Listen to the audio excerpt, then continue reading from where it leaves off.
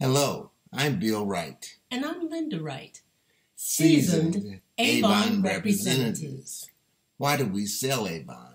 We love the products, especially skincare. We enjoy sharing the latest Avon products and developments with our customers.